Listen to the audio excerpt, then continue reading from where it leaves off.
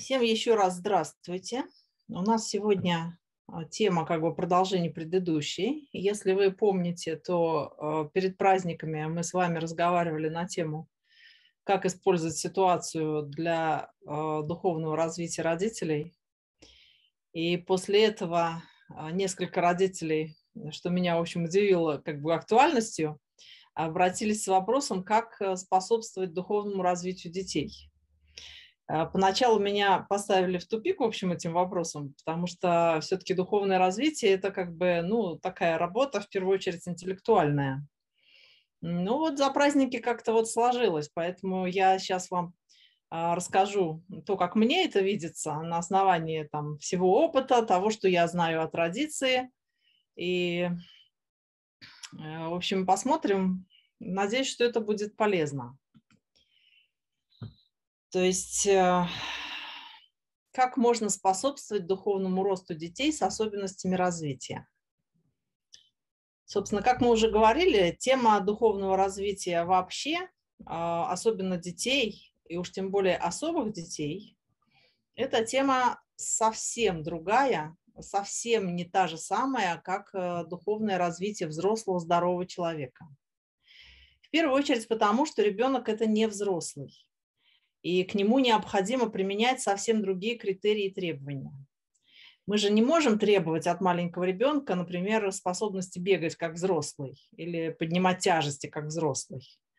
А, мы зачастую от него не можем даже требовать э, кушать самому ложкой, да, то есть мы будем его кормить, мы будем а, менять ему пеленки, мы будем еще много чего делать. Просто почему? Потому что он ребенок, он еще маленький, мы это понимаем. А особый ребенок – это еще более сложная тема. А, у любого человека есть свои довольно стандартные этапы развития. То есть если мы говорим в общем, то сначала человек рождается в виде младенца, младенец этот растет, осваивает какие-то базовые навыки. Потом он подрастает, идет в школу, получает профессию или делает еще что-то из того, что делают люди, взрослые люди. Э, зададим вопрос, развивается ли он духовно, если он ничего для этого не делает. Я считаю, что, несомненно, да. А, почему духовное развитие происходит даже тогда, когда никто ничего специально не делает для этого? А, просто потому, что это следует из самой нашей природы, из природы нашей души. Вот мы назвали слово «душа», которая, скажем так, вызывает неоднозначные, наверное, ассоциации. А, что мы вообще о ней знаем? А, ученые вон вообще сомневаются, есть ли душа вообще, да? Почему сомневаются? Ну, потому что пощупать ее нельзя, измерить и взвесить тоже. И тем не менее, любой из нас умеет различать свои именно душевные порывы, свои душевные устремления, душевные усилия. То есть субъективная реальность каждого из нас говорит, у нас есть душа, есть, и окружающих нас тоже есть, мы ее чувствуем, эту душу. Она очень непростая, это наша душа. И если мы не делаем то, что душа нам велит и просит, то ох и плохо же нам потом от этого. И бежим мы исправлять, и счастливы бываем, когда удается исправить. А когда не удается исправить, то вся жизнь нам не мила становится, и депрессия наступает иногда вплоть до самоубийства. Вот она, наша душа, такая вот, руководит нами. Я считаю, что нам с Давидом повезло, и мы имеем возможность регулярно убеждаться, во-первых, в существовании души, в существовании Всевышнего, поэтому оставим сомнения физикам и докторам, которые видят и воспринимают только самую плотную ее часть, то есть физическое тело, отрицая все остальное, и обратимся к традиции. Любая религиозная традиция имеет свой взгляд на тонкие, то есть плохо видные глазу части нас.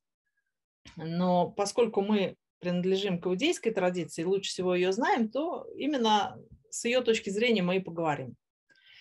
Что говорит иудейская традиция о душе? В первую очередь она говорит нам «Нешама шенатата би тегораги» То есть что это означает? Она говорит, душа, которую ты, Творец, дал мне, чиста она. То есть что мы из этого учим? То, что Всевышний дал нам душу, и она изначально чиста. Из этого следуют многие выводы, но как бы это не наша тема на сегодня, поэтому мы ее отложим. Может, на другой раз как-нибудь. Что еще мы знаем о душе из традиции? Мы знаем, что душа наша – это не монолит. Это многоуровневый объект со сложной структурой, который где-то там, высоко и далеко, имеет связь с самим Всевышним. У всех ли есть душа? Несомненно и однозначно. Только что закончился праздник Роша Шана, Новый год по еврейскому календарю. В это время евреи заканчивают годовой цикл чтения пятикнижия Торы и начинают чтение заново. То есть что они делают? Они читают последнюю главу пятой книги и начинают первую главу первой книги. И первая книга в Торе – это книга в начале, Берешит, а, в которой рассказывается в первую очередь о сотворении человека. То есть там первая глава рассказывает о сотворении мира и о сотворении человека. Вот неделю назад читали именно эту главу в очередной раз. А, в христианской традиции это первая глава книги «Бытие». Так давайте же посмотрим, что же там говорится в этой главе и как это связано с душой и с духовным развитием. Первая глава книги в начале содержит два рассказа о сотворении человека. Собственно, любой, кто внимательно читал, он увидит, что рассказов там именно два. Казалось бы, зачем? Зачем такая важная книга, как Тора, повторяет какой-то рассказ дважды? Наверное, потому что там есть что-то очень важное. Давайте попробуем найти, что же важное там такого нам рассказывают. Первый раз о сотворении человека рассказывается в первой части главы. В первом варианте рассказа упоминается, что Бог сотворил человека по своему образу и подобию, что не очень понятно. И основной посыл этой главы, что человеку дана власть над всем прочим сотворенным. А вот второй вариант рассказа для нас гораздо интереснее в плане понимания, что такое душа, у кого она есть и что такое духовное развитие. Вот что написано в оригинале на иврите во второй части главы Берешит. А, Ваецер Ашем Элухим – это Адам, Афар мин Адама, Ваифах Беапав Нишмат Хаим, Ваига Адам Ленефеш Хая. Я нашла перевод э, этого предложения э, на официальном сайте Русской Православной Церкви, увидела, что он вполне адекватен, и вот он. И создал Господь Бог человека из праха земного и вдунул в лице его дыхание жизни, и стал человек душою живою. Э, тут, к сожалению, при том, что перевод достаточно точен, а, есть нюансы, которые в силу лингвистических особенностей языков, иврита и русского, не способен однозначно передать все оттенки смысла которые вкладываются в описание этого процесса в оригинале. И нам для того, чтобы понять, что такое душа, нужно посмотреть на некоторые смысловые оттенки оригинала, то есть именно что имелось в виду во фразе на иврите. В иврите есть два совершенно разных слова, которые на русский язык переводятся глаголом «создал», «сотворил». Это корни «бара» и «яцар». В русском переводе невозможно почувствовать разницу потому что мы как бы много про что говорим, создал, сотворил, это может быть что-то новое, это может быть что-то не новое, вот мы что-то создали, мы в смысле переделали или создали что-то там, сплели с нуля, в общем. Короче, вот э, нет такого вот разделения. А в оригинале эта разница понятна всякому. То есть тот, кто знает иврит, он прекрасно понимает, что глагол «бара» используется там, где из ничего создается что-то. Например, когда речь идет о создании земли и неба, то используется именно этот глагол. То есть не было ничего, и в абсолютной пустоте были созданы земля и небо. Глагол «я царь» используется в отношении, например, художника или скульптора. То есть они могут сотворять новое из старого, но не могут сотворять что-то из ничего. И вот в истории про сотворение человека используется именно глагол «я царь», то есть э, было взято что-то существующее, и оно было переделано во что-то новое. То есть человека создали из чего-то уже созданного ранее. В данном случае из праха земного, что есть поэтический образ для использования подручного материала, скорее всего, достаточно низменных свойств. То есть когда Всевышний творил человека, то человек не был одушевленным, не имел души, пока Бог не вдохнул в него живую душу, нишмат хаим. И вот с мгновения, когда Бог вложил в тело живую душу, человек стал именно тем, что мы называем человеком.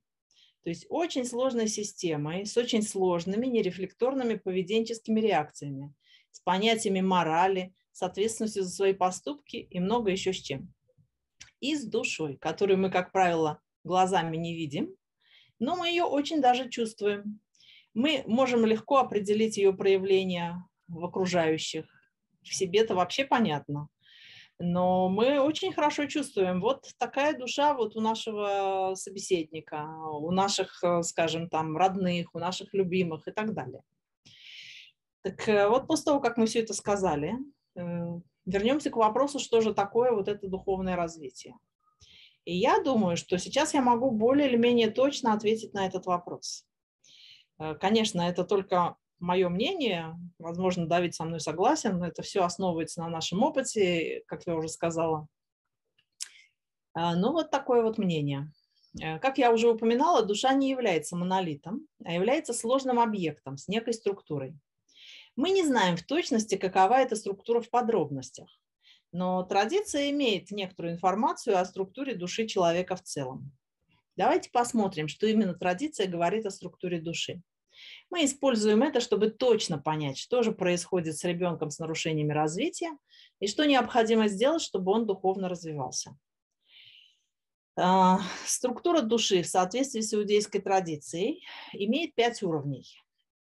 Самый нижний уровень – это нефиш, то есть животная душа.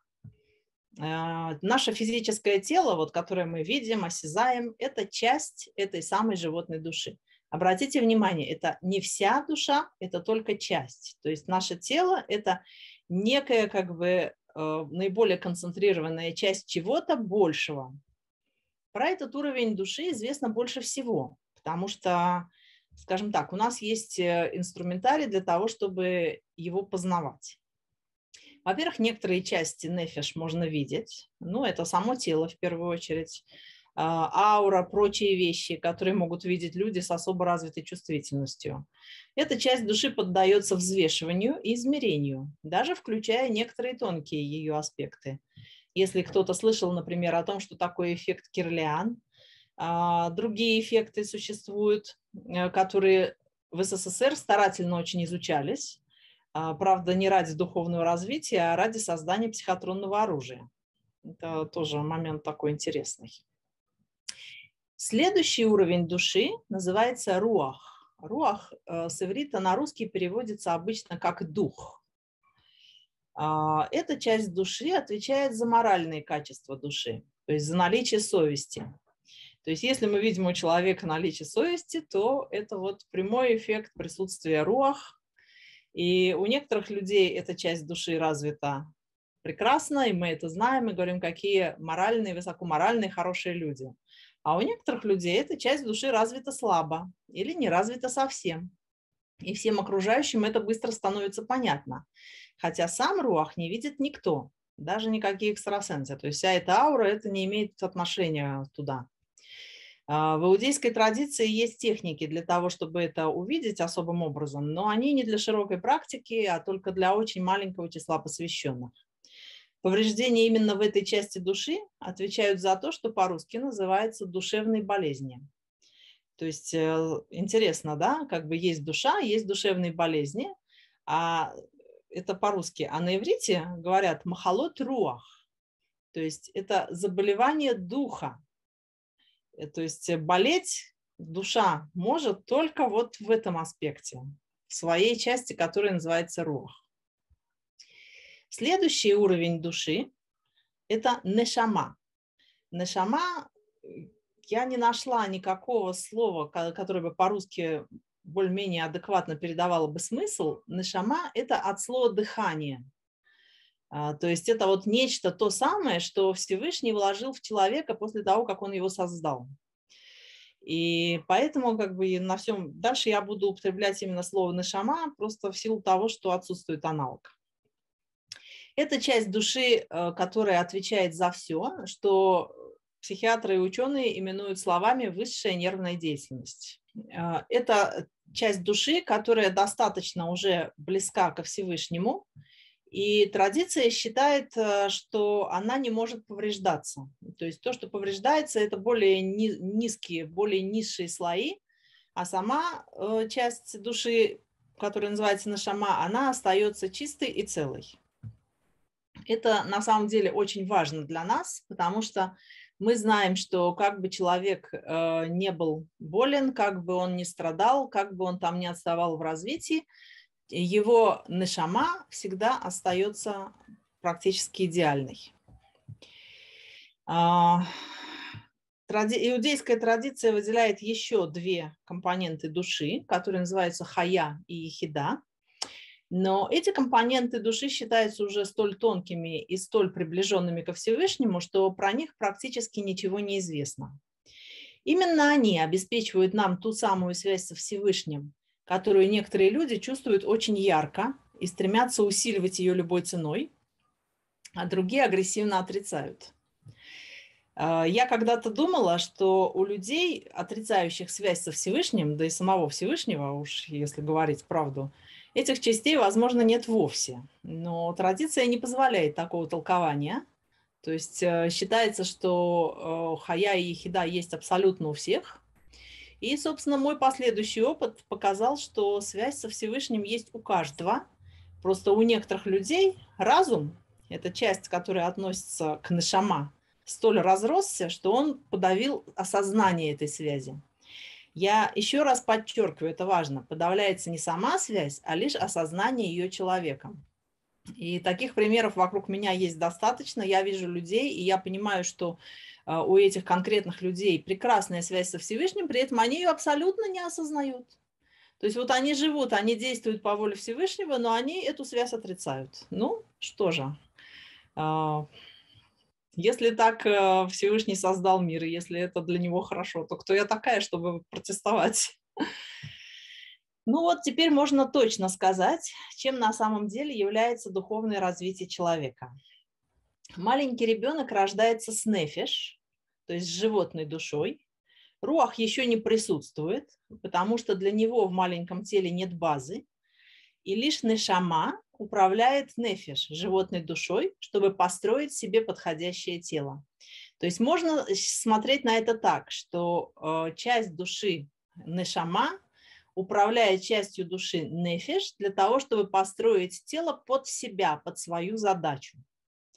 С годами, когда ребенок взрослеет, а, нефиш увеличивается и усложняется. Ну, мы это и видим. Ребенок растет, его тело растет, э, его мозг растет и становится подходящим для того, чтобы руах и нашама заняли бы свое место, и чтобы связь со Всевышним стала бы более плотной и прочной. Мы наблюдаем это становление в процессе взросления ребенка. А, маленькое тельце, не умеющее ничего, кроме как кушать и спать, это нефиш, животная душа. Присутствие нашама там минимально, но именно она управляет всем. Где-то между годом и полутора мы начинаем уже ясно ощущать ее присутствие в маленьком человеке. Именно в это время со страшной скоростью развивается интеллект, развивается речь. Ребенок, ну, скажем так, ребенок становится именно тем сладким ребенком, которого мы так вот любим. Младенец подрастает и превращается в ребенка, который, в свою очередь, превратится в подростка, из которого, в конце концов, получится взрослый человек. А что будет, если Нешама не сможет полноценно управлять развитием Нефиш? А вот тут мы и получим вот это самое. Не будет развиваться интеллект, или если разрыв частичный, развитие будет замедленным. Будет отставать развитие речи, или речь вообще не будет развиваться высшая нервная деятельность не будет усложняться, потому что Нешама не сможет подготовить для этого физическое тело. И будет у нас э, особый ребенок. На физическом уровне мы найдем органическое поражение той или иной степени тяжести, в зависимости от того, насколько сильно пострадала связь между нефиш и нешама. Нешама участвует во всем, в чем участвует нефиш, то есть животная душа. А что у нас с руах? Где он у нас появляется? Ведь у младенца же мы не можем найти совесть и мораль. Младенец, он на то и младенец. А, руах обретает способность проявляться в ребенке несколько позже, где-то лет после четырех, а чаще годам к шести, когда животная душа нефиш усложнится настолько, что сделает это проявление возможным. И тут мы вдруг видим, что ребенок, который просто смотрел, например, мультик Бэмби, вдруг начинает плакать из-за сочувствия к этому олененку. А, или вдруг он начинает э, хотеть поделиться там с мамой или с другими детьми игрушками и конфетками. Или вдруг он понимает, что кому-то больно и пытается там а, сделать так, чтобы больно не было. Или приносит маме одеяло. В общем, короче, вдруг мы начинаем наблюдать вот такие вот, скажем так, совсем неочевидные проявления.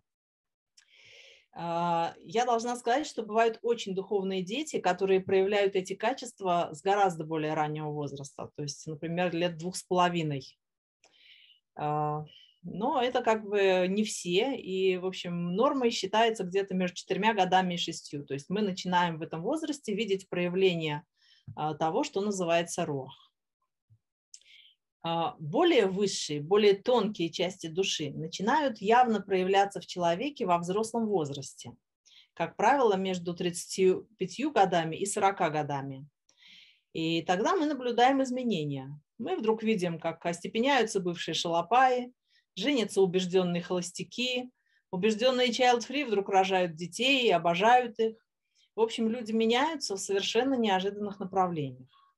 Еще бывает, что человек вдруг обнаруживает какой-то новый талант, меняет профессию или пускается в дальнее путешествие, то есть меняет свою жизнь кардинально и начинает делать что-то совсем другое.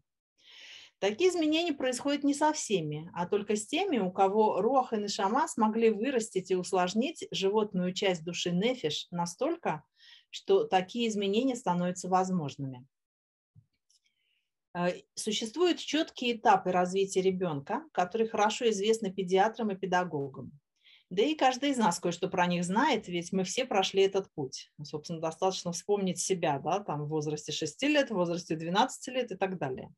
Даже если мы что-то забыли, можно посмотреть на окружающих детей и вспомнить, как оно было, и понять этих детей. А вот с ним происходит то же самое, что и со мной в этом возрасте. А, есть также этапы развития взрослого человека, но они уже мало изучены, то есть, э, скажем, психология пытается это как-то изучать, но, в общем, я не видела ни одной маломальски, скажем так, эм, практичной теории, то есть, которую можно было бы вот реально приложить и сказать, да, вот это вот более-менее отражает. Нет, не отражает. То есть есть какие-то теории, есть какие-то там даже находки, но, в общем, все это очень так разрозненно и нет единой системы. А, поэтому мы наблюдаем окружающих нас людей, делаем свои выводы и в соответствии, действуем в соответствии с этими выводами. То есть что мы из всего этого можем вывести? Что мы все развиваемся духовно в процессе жизни. И цель нашего развития – это укрепление связи со Всевышним. Собственно, вся наша жизнь, все наше развитие направлено только на одно на укрепление вот этой вот связи со Всевышним, на развитие высших частей души, про которые мы совсем не думаем, э, которые мы не видим. Иногда мы их чувствуем, но именно они развиваются в процессе нашей жизни. И весь этот мир устроен так, чтобы мы развивались. Решение любой проблемы, любые наши коммуникации с другими людьми чему-то нас учат и тем самым способствуют усилению присутствия нашей Э, души Нешама, образованию новых связей в мозгу для обеспечения ее деятельности, а значит и усилению присутствия нашей высшей души. Ну вот, наконец, мы добрались и до духовного развития особого ребенка. Мамочки не зря беспокоятся на эту тему. Из того, что я сказала, уже должно быть понятно, что духовное развитие ребенка наитеснейшим образом связано с просто развитием, просто потому, что это такие этапы. Каждый из нас должен пройти эти этапы, и если ребенок тормозит на каком-то этапе, это проблема. Если обычное развитие ребенка не происходит, то не происходит и духовное развитие. Оно остается законсервированным. И наоборот, если нет духовного развития, то нет и просто развития. Оба этих развития либо происходят параллельно, либо параллельно страдают, замедляются, искажаются. Как все сказанное сочетается с нашим убеждением в том, что любые особенности развития проистекают из органических поражений ЦНС? Э, давайте посмотрим презентацию. Я надеюсь, у меня сейчас все получится сделать screen, где я попытаюсь наглядно изобразить, что с чем связано и что происходит с особыми детьми. Вот я открываю презентацию. Теперь мне нужно сделать share screen. Share. Так. Вот моя презентация. И мы начинаем эту презентацию. На первом слайде я изобразила э, как бы человека схематически. То есть вот у нас здесь есть э, тело человека, которое является частью нефиш. Я подчеркнула, что сам нефиш гораздо больше, чем наше физическое тело. То есть вот все эти проявления, которые видят экстрасенсы, там типа ауры и прочее, это вот все включается вот в этот вот розовенький круг. А, Гораздо высший уровень – это руах. Вот, я его голубеньким изобразила. Он у нас как бы сидит на нефиш и что-то там делает. А, следующий уровень – это нешама, он у нас фиолетовый. И высшие уровни души я изобразила светло-светло-розовым. То есть схематически можно сказать, что тело и душа ее части соотносятся вот примерно таким образом. Собственно, каждое, каждый уровень нашей души, он имеет в теле либо прямое проявление, а, либо косвенное. Косвенное мы видим через поведение. То есть, например, скажем, а, руах частично использует тело напрямую, тогда, когда это тело уже дозрело до того, что это становится возможным.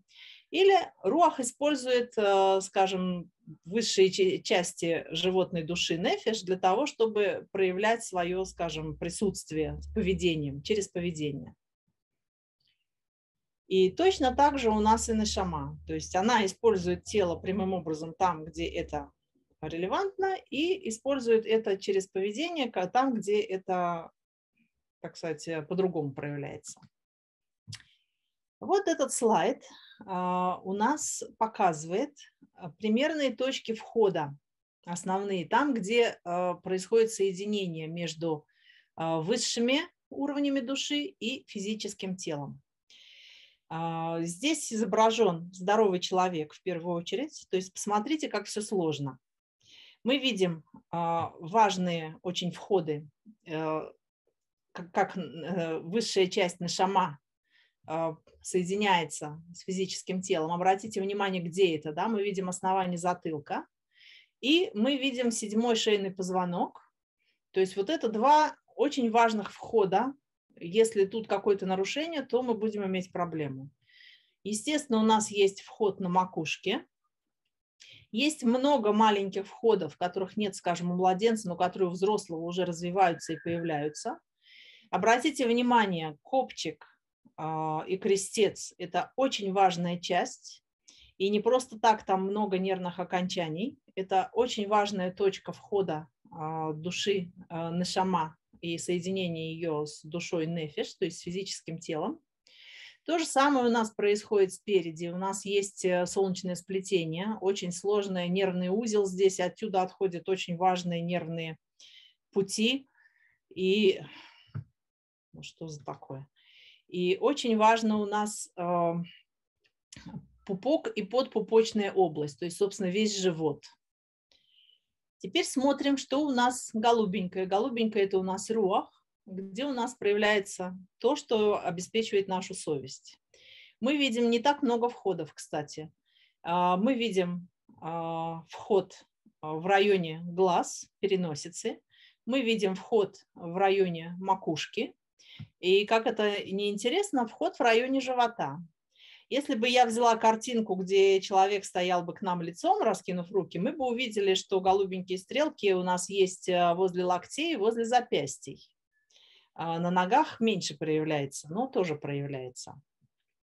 И обратите внимание, что розовенькая стрелочка у нас только одна. То есть э, это связь со Всевышним, которая э, очень мало, очень слабо проявляется именно в физическом теле. Она скорее проявляется душевными порывами. То есть вот когда вы, например, переживаете какое-то религиозное вот э, такое вот ощущение, там религиозный экстаз и прочее, то это вот именно оно, именно вот эта вот стрелочка. И именно к увеличению вот этой связи, так сказать, к утолщению этой стрелочки, к ее углублению в нас мы, собственно, и стремимся. Вот это вот и есть наше духовное развитие, его цель, и ради этого мы здесь живем. А, я надеюсь, что более-менее все понятно. Если кому-то непонятно, то потом можно будет спросить. А вот у нас младенчик. Смотрите, здоровенький младенчик, но маленький. Где у него входы высших частей души. Посмотрите, их совсем мало. На первом этапе жизни, а, собственно, руах не присутствует здесь вообще.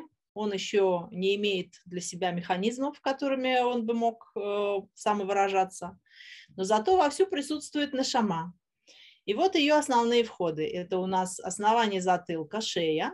Это у нас макушка, то есть э, теменные доли.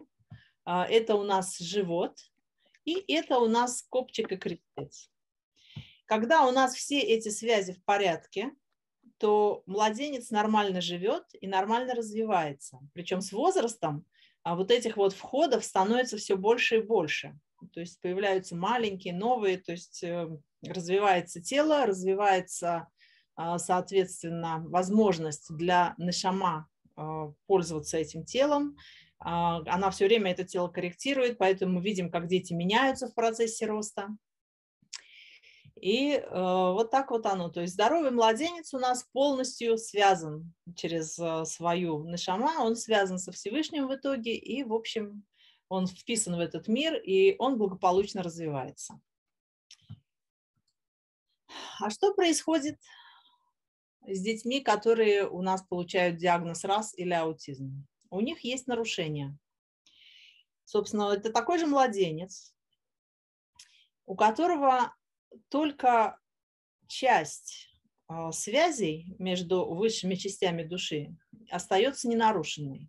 Их хватает для того, чтобы тело выглядело, как правило, не испорченным, но кое-что нарушено. То есть нарушена связь вот здесь и нарушена связь вот здесь. К чему это ведет у нас? Я взяла специально э, такой чарт, который показывает, э, скажем так, связь между э, нервной системой и всеми органами. Я очень люблю этот чарт, потому что здесь можно многое хорошо разглядеть. Вот обратите внимание, э, все вот эти вот желтенькие пути – это нервы. Это нервы более или менее крупные или мелкие, а, именно нервы – это проводники того, что я называю здесь в нашей презентации на шама. Это то, что управляет фактически всем. Ну что ж такое? А, всем, что а, происходит в нашем теле. Как только у нас нарушается связь где-то, например, вот в этой вот области, посмотрите, на что это сразу влияет. Мало того, что это влияет у нас на весь головной мозг, то есть у нас здесь нарушается связь. Все, уже даже если вот эта связь верхняя останется неповрежденной, уже у нас будут проблемы. Они, возможно, будут, э, скажем так, не катастрофическими, но они уже будут. Обратите внимание здесь. То есть как только у нас, скажем, есть повреждение здесь, мы тут же получим проблемы, начиная с сердца, легкие, желудок и так далее. То есть э, любой орган, который теряет связь с этой высокой частью души, тут же начинает иметь проблемы. И мы часто видим у, у детей вот э, с этими диагнозами, мы часто, мы часто видим, что пострадал не только головной мозг, а пострадали, например, органы пищеварения. Почему они пострадали? А потому что пострадали нервные пути вот здесь. Не зря же говорят, что кишечник – это второй мозг. То есть э, вот здесь это я думаю, хорошо и наглядно видно.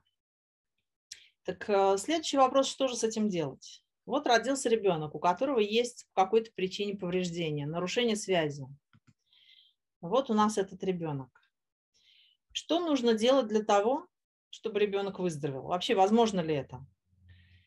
Да, возможно. Это ребенок выздоровеет, если мы сделаем две вещи. Мы уберем нарушение здесь, и мы уберем нарушения здесь. Как только мы уберем эти нарушения, то через какой-то короткий период вот эти вот фиолетовые стрелочки встанут на свое место, и ребенок начнет развиваться. Что, собственно, мы и наблюдаем. Все, вот, что мы делаем в нашем центре, направлено помимо работы с конкретным телом, то есть если есть уже э, нарушение в самом теле, помимо этого еще э, мы делаем все для того, чтобы убрать вот эти вот нарушения связи, и тогда у нас э, просто тело и нашама начинают сами делать всю работу. Это вот то, что я объясняю. Я говорю, я могу только помочь. То есть вот я уберу вот это, скажем, и дальше Нашама сделает то, что она должна. Она восстановит, она э, восстановит свою связь с Нефиш, и они вдвоем починят вот то самое нарушение, которое произошло, например, там при родовой травме. Ну, в общем, я думаю, что сейчас уже я рассказала то, что мне пришло в голову, и я буду очень рада, если мне зададут вопросы. Девочки, сейчас самое время задавать вопросы. Ну вот а, такой вопрос, опять-таки, возраст ребенка, наверное, тоже играет все-таки, да, роль? Какой возраст? Да, я хотела про это сказать, и как-то выпало у меня из головы. Ну, отлично, значит, я скажу. Смотри, Понятное дело, что чем младше ребенок, тем проще все починить. Да? Ты видела это на слайде. То есть пока маленький ребенок, нарушения, они очень локализованы. То есть ты э, чинишь эти локализованные нарушения, и дальше ребенок уже идет сам, развивается сам. Но здесь какой минус? Вот на этом этапе же не видно еще пока что, что он болен. Понимаешь, в чем штука? Видно. Как правило, видно. Вот сколько было у нас детей, да, и очень многие родители мне говорили, например, вот это началось полтора года, да, а потом показывали видео, вот ребеночек в 9 месяцев, да, и вот опытному глазу уже видно, что проблема есть. Это проблема, скажем так, недодиагностики, то есть нет специалистов, которые действительно способны как следует это диагностировать в малом возрасте. Теперь я продолжаю, собственно, твою мысль. Катастрофа ли это, да? Вот полтора года не заметили, да? Что делать? На самом деле катастрофы никакой нет, потому что Нашама и Нефиш, они умеют взаимодействовать в любом возрасте, даже в самом взрослом. Я вот приведу в пример, скажем, э, взрослого ребенка 15 лет. Да? Значит, да, там, конечно, все гораздо сложнее, потому что уже нарушены многие связи. Вы видели на слайде, например, взрослого человека, сколько там образуется всяких мелких связей, да? Так и когда эти вот основные нарушения не убраны, и ребенок развивается с этим, то да, там, конечно, накапливается очень много изменений. Но практика показывает, что если с этим работать, то развитие все равно начинается. Да, все происходит медленнее, но оно происходит. Оно происходит, и еще это зависит от того, насколько глубоки вот эти вот нарушения. Если нарушения относительно поверхностные, то в любом возрасте это происходит быстро. Я ответила на твой вопрос? Да, спасибо. Вот. Так что да, в идеале, конечно, лучше всего приносили, скажем, полуторагодовалых детей. Вот недавно у меня был ребенок год и десять, э, нет, год и месяц. Год и месяц, да. То есть ребенок был весь в себе, но уже буквально через месяц, вот они раз в неделю приходили, да, какой через месяц? Уже через неделю уже мы видели изменения, да, и вот они а, собственно, они были, в течение двух месяцев они приходили, а, и потом там они заболели ковидом, еще, в общем, короче, не приходили. Ну так э, я просто разговариваю с родственниками этого ребенка. Ребенок развивается, он, собственно, уже начал разговаривать потихоньку. Понимаешь? То есть это как бы, да, это огромная удача, да, то есть год и месяц – это просто огромная удача поймать вот в этом возрасте. Или, например, скажем, еще ребенок тоже там год с чем-то там, да, а, у ребенка тяжелое ДЦП, собственно, половина тела не работала, да. А, сейчас ребенок уже встает, ползает и так далее. То есть понятно, что там повреждение было более сильным, это займет больше времени, да, но понятно, что, в общем, у этого ребенка есть все шансы восстановиться, скажем так, если не совсем полностью, то настолько, что он сможет жить нормальной жизнью, да. То есть э, а, инвалидное кресло ему уже однозначно не грозит, он уже ходит, да, ну и так далее. А, но опять же, я говорю, это удача. Поэтому, когда такой удачи не случается, то, в общем, паниковать не надо. Все все равно происходит просто медленнее. Вот, еще вопросы у нас есть. Я понимаю, что материал немножко такой своеобразный.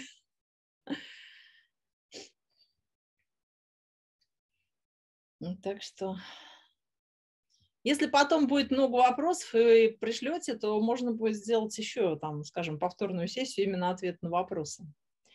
Но что я хочу, собственно, подчеркнуть вот всем этим? А, тем, что то, что считается, казалось бы, мистикой, оно на самом деле никакой мистикой не является. Просто если мы чего-то не видим и не знаем, это не значит, что его нет. И, э, собственно, вот э, разговор о духовности у нас опять я, например, как-то больше склоняюсь к тому, что духовность – это ну, некая абстракция, потому что наше тело и душа, они достаточно материальны. То есть то, что тело материально, с этим никто не спорит, да? А, спор идет о чем? О том, что душа, она как бы нематериальна. А я считаю, что нет. Она очень даже материальна, просто у нас нет инструментов для того, чтобы ее видеть. Ну вот так вот сделано. Почему, с какой-то целью, как бы это нам неведомо но материально все, поэтому все подвержено, так сказать, исправлению. То есть любое повреждение может быть исправлено при наличии, так сказать, подходящих инструментов. Вот. Ну, Давид Симха, если у тебя нечего сказать и больше вопросов нет, то, в общем, как бы я сказала то, что хотела. Можно вопрос? Здравствуйте. Конечно, здравствуйте. А вот снять вот это нарушение может только человек с, э, э, с специальными возможностями, да, так скажем, или вот мать может какими-то медитациями. Смотри, значит, я на эту тему хочу сделать отдельную лекцию, да, можно ли исправить коррекции, да, не исправляя саму причину. Тут момент очень интересный. На самом деле, как бы, да, с душой нужно работать другой душой. Так же, как, скажем, при любой деятельности есть люди, у которых есть больше инструментов для этого. Но, э, скажем так, у очень многих людей есть хотя бы частичные инструменты для работы с этим. В частности, мать, она неизбежно связана душой со своим ребенком, и она через свою душу, да, может исправлять. И вот интересно, я заметила, например, мы там пообщались с некоторым количеством людей, которые занимаются там какими-то, скажем, логопеды, да, там еще там что-то такое. Так вот, успешные из них, они именно это и делают. Они применяют свою душу для исправления души ребенка. Да, они воздействуют точечно, скажем, на какие-то конкретные там а, повреждения, но они это делают именно своей душой. Внешние методики, они работают только вот у этих вот людей, да. То есть, например, скажем, человек, хороший логопед, вот у него ребенок заговаривает, да, вдруг ребенок, который не говорил, и вдруг заговорил. Вот э, приходит другой логопед и начинает изучать эту методику. Потом он начинает ее применять к таким детям. И у него ничего не получается. Почему? Во-первых, у него душа другой конфигурации. Во-вторых, он, возможно, вообще не понял, что же там происходит, понимаешь? То есть есть внешняя часть работы и есть мягко скажем так, невидимая часть работы. То есть тот логопед, который успешный, он-то хорошо знает, что он внутри себя делает. Он именно своей душой как бы работает, и эта работа, она очень непростая. И он достигает результата. Пусть этот результат не всеобъемлющий, пусть он там частичен, но неважно, он его достигает, да? Но с помощью той же внешней методики, то есть теми же внешними действиями, другой человек этого не достигнет. А кто-то третий, возможно, наоборот, он поймет именно самую суть и достигнет еще большего, понимаешь?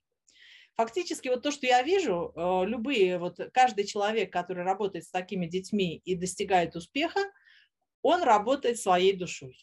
Он может работать при этом руками, он может э, что-то говорить. Это все совершенно не важно. Основная работа происходит между душами. То есть душа одного воздействует на душу другого. И, Стефа, можно еще вопрос? Конечно. А, вот смотрите, ребенок с нарушенным развитием, приходя в храм, а, подпевает псалмы, то есть ведет себя абсолютно по-другому, ну, то есть вот как бы вот эту божественную искру он впитывает в себя, при этом то есть, э, ну, скажем так, имеет нарушение в развитии. Что, как это? Это связь с Всевышним? Это как раз очень даже легко объяснимо. Это означает, что вот, э, помнишь, э, была там такая светло-розовая стрелка вот здесь вот наверху? Да, да. Вот, это значит, что вот эта часть у него развита хорошо, и именно там у него нарушения нет. Такие дети бывают, а поскольку у него есть нарушение в другой области, то именно туда идут все его ресурсы. И как бы он может именно вот поэтому быть гораздо более чувствительным вот ко всем этим вот высшим проявлениям, чем, скажем, окружающие. Да? Спасибо. То есть одно другому никак не противоречит.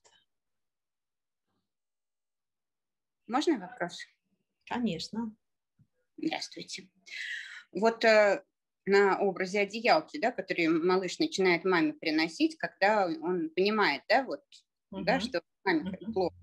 Э, когда у ребенка есть проблема, то он это начинает понимать позже, да, когда проблема уходит. Вот он начал это понимать там в 7-8 лет, вот я это вижу.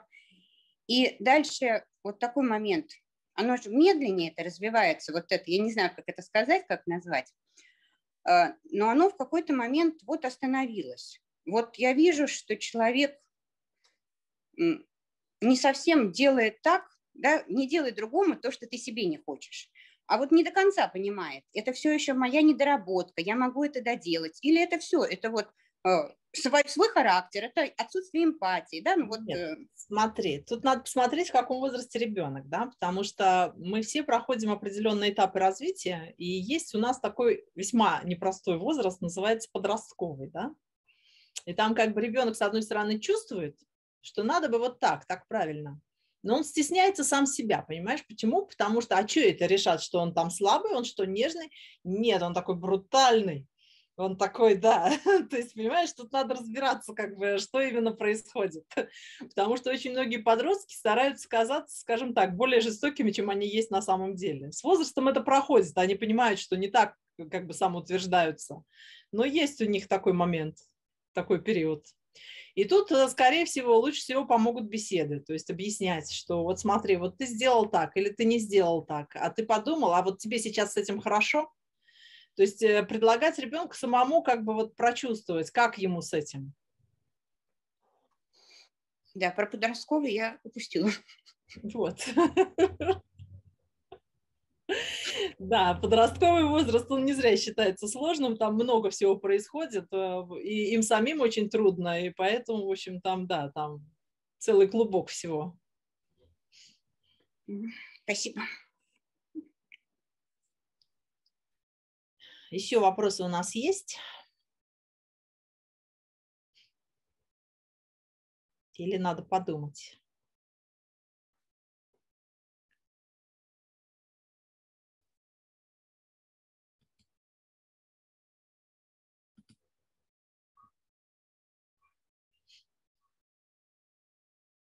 Ну что, я считаю, что как бы можно закончить на этом. Если появятся дополнительные вопросы, то их можно прислать.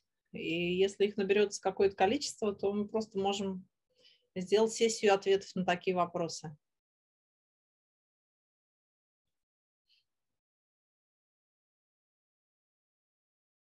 Давид Симха, ты имеешь что-то сказать? Я имею сказать потом как-нибудь. Сейчас э, пусть люди усваивают то, что э, раздумывают над тем, что услышали. Э, но единственное, что я должен буду сказать, это по поводу необходимости воспитания, необходимости э, участия родителей в судьбе своих детей, не перекладывая ответственность на каких-то других специалистов. Вот это вот да. Э, э, э, это да. Но это отдельный разговор, скорее всего. Потому последние годы многие возник такой перекос. Родители ну, переносят ответственность на развить, за развитие, воспитание детей на кого другого, на разных специалистов. Ну, для специалистов это хорошо, конечно. Но если мы говорим о достижении цели здорового счастливого ребенка, то роль родителей никто не сможет заменить. Но об этом длительно потом.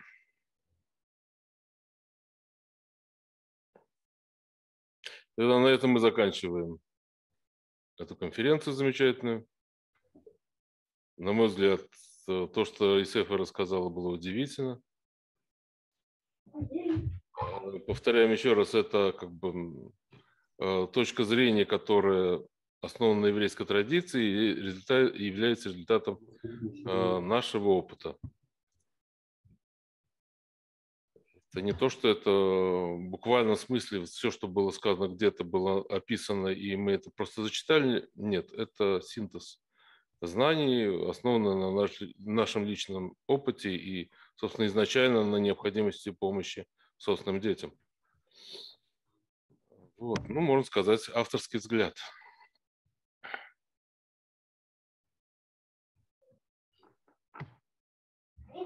Есть у кого-то какие-то вопросы или потом?